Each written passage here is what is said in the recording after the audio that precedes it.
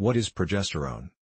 Progesterone is a medicine used for the treatment of premenstrual syndrome, premenopause and menopause.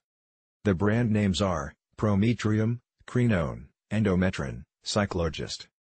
Mechanism of action of progesterone. Gestagenic, antiestrogenic, non-androgenic and anti-aldosterone action. Therapeutic indications and dosage. Progesterone. Oral use, disorders linked to progesterone insufficiency. Premenstrual syndrome, premenopause, 200 to 300 mg day, 10 days per cycle, from day 17 to 26. Estrogenic adjuvant in menopause of non-hysterectomized women, 200 mg day to associate during the last two weeks of each monthly sequence of the treatment.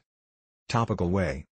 Specific treatment of benign mammary pathology, mastodynia, painful mammary tension associated with contraceptive treatment, premenstrual syndromes, onset of pregnancy. Benign mastopatias, 50 mg, 1 spatula measure slash 1 time a day in each breast, including menstruation.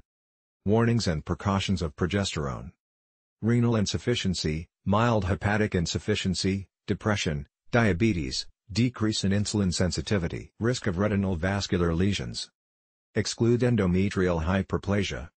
Physical examination prior to commencement of treatment, breasts and pelvic organs. Possible fluid retention, may be aggravated in, epilepsy, migraine, asthma, heart failure. Interrupt treatment if suspected of, myocardial infarction, cerebrovascular disorders, arterial or venous thromboembolism, thrombophlebitis. Side effects of progesterone.